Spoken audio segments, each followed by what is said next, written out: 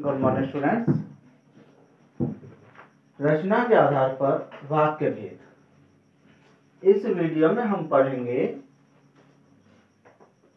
वाक्य का दूसरा भेद संयुक्त वाक्य। तो संयुक्त वाक्य क्या होता है?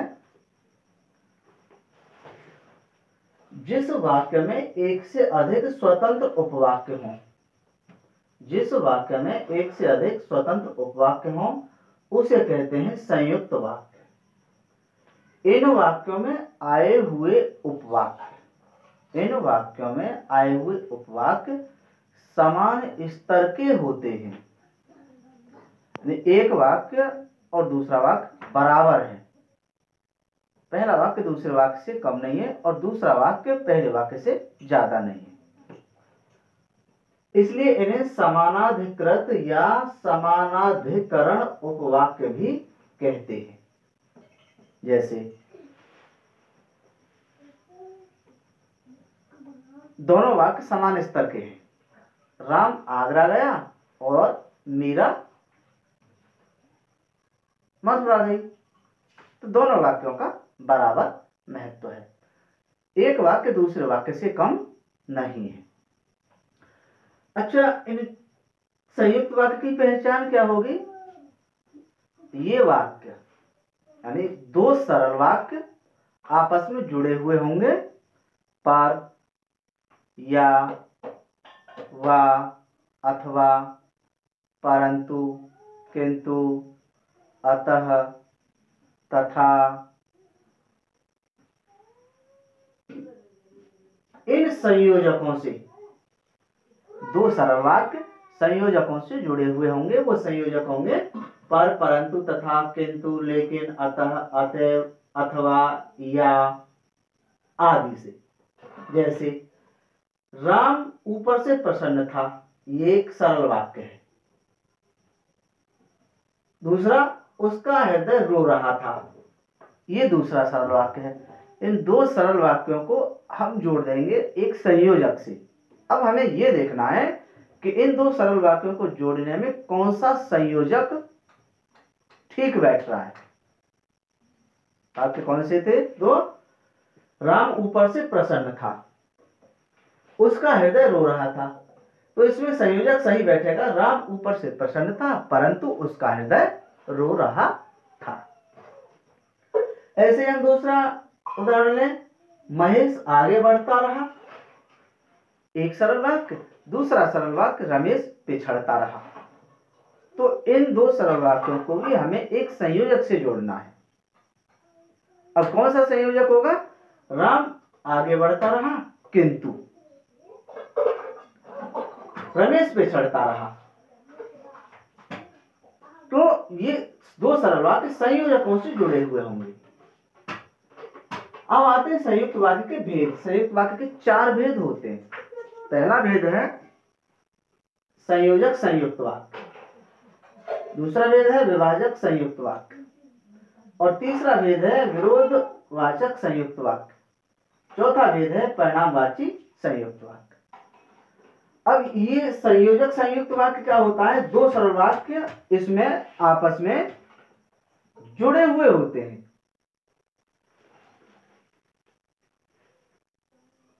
सभी में।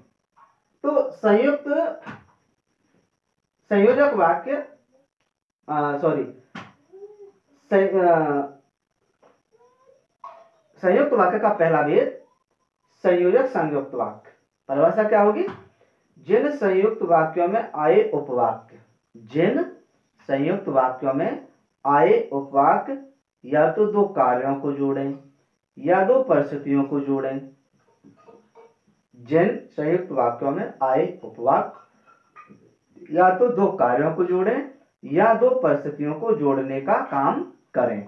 वो होते हैं हमारे संयुक्त संयोजक वाक्य। जैसे,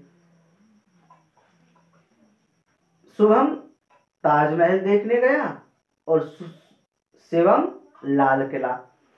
तो दो कार्य जुड़ रहे हैं। एक ने वो कार्य किया और दूसरे ने वो कार्य किया। या तो दो कार्य जुड़ रहेंगे या दो परिस्थिति जुड़ेंगी। दूसरा उदाहरण है इसका, तुम्हारे लिए आलू जीरा की सब्ज़ी है तथा उसके लिए मटर पनीर, यानी दो आदमियों के लिए परिस्थिति जुड़ी हुई है। एक के लिए ये सब्ज़ी है और दूसरे के लिए वो सब्ज़ी दूसरा है इसका भेद विभाजक संयुक्त वाक्य। अब विभाजक संयुक्त वाक्य जैसा इसका नाम है, ये अलग अलग करते हैं। विभाजक संयुक्त वाक्य उन्हें कहते हैं, जिनमें दो स्थितियाँ अथवा दो कार्यों के बीच विकल्प हो। दो परिस्थितियाँ या दो कार्यों के बीच विकल्प हो। अर्थात एक को स्वीकार किया जाए और दूसरे को अस्वीकार किया जाए। उन्हें कहते हैं विभाजक संयुक्त वाक्य। ये जो विभाजक संयुक्त वाक्य हैं, इनकी पहचान क्या है? दो उपवाक्य जुड़े हुए होंगे यानी दो उपवाक्यों के बीच में चिन्ह होगा।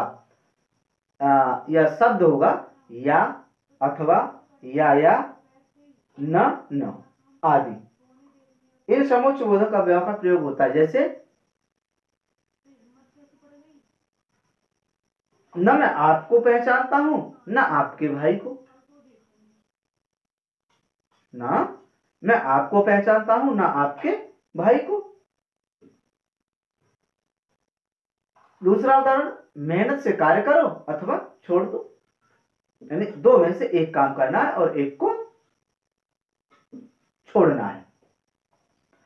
तीसरा भेद है इसका, विरोधवाचक संयुक्त वाक्य।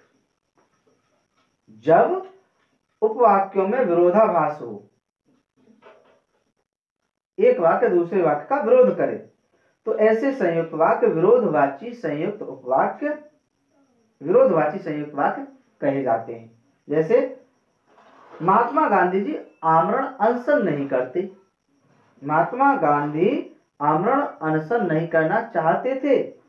लेकिन अंग्रेज़ों ने उस उनकी बात मान ली। आ, लेकिन अंग्रेज़ों ने उनकी बात नहीं मानी। महात्मा गांधी जी आमरण अनशन नहीं करना चाहते थे लेकिन अंग्रेज़ों ने उनकी बात नहीं मानी। तो विरोध है। अंग्रेज़ों ने विरोध किया गांधी जी की बात का, इसलिए गांधी जी को वो आमरण अनशन करना पड़ा। दूसरा उदाहरण है, मैंने उसे बहुत समझाया, पर वह नहीं माना। यानी वह नहीं माना, वो विरोध कर रहा है पहले वाले काम का, यानी समझाने का। तो यह है विरोधवाची संयुक्त वाक्य। और चौथा लास्ट वेद इसका परिणामवाची संयुक्त वाक्य। जब एक उपवाक्य से कार्य का, एक उपवाक्य से कार्य का, तथा दूसरे से उसके परिणाम का बोध हो। एक से, एक उपवाक से तो काम का पता हो, और दूसरे उपवाक से उसके परिणाम का पता हो, वहाँ होता है परिणामवाची विरोध परिणामवाची संयुक्त वाक्य। इसकी पहचान है, ये दो सरल वाक्य जुड़े हुए होंगे आपस में, प्राय, अतः, सो, इसलिए, इन अवयव से। जैसे, वह अस्वस्थ था, कार्य का बोध हो रहा है, इसलिए लेटा ही रहा। दूसरे से परिणाम का बोध हो रहा है, इसलिए इसे दोनों वाक्य जुड़ रहे हैं। वह मैच देखना चाह रहा था, अतः घर चला गया। मैच देखना चाह रहा था अतः घर चला गया। अब एक वाक्य से काम का बोध हो रहा है और दूसरे से परिणाम का बोध हो रहा है। काम क्या है? मैच देखना चाह रहा था, परिणाम क्या हुआ? घर चला गया।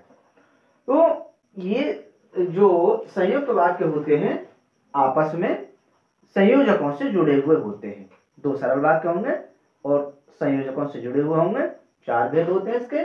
संयोजक संयुक्त वाक्य, विभाजक संयुक्त वाक्य विरोधवाचक संयुक्त वाक्य और परिणामवाचक संयुक्त वाक्य। इस वीडियो में हम संयुक्त वाक्य को पढ़ेंगे, आगे की वीडियो में पढ़ेंगे मिश्र या मिश्रित वाक्य। Thank you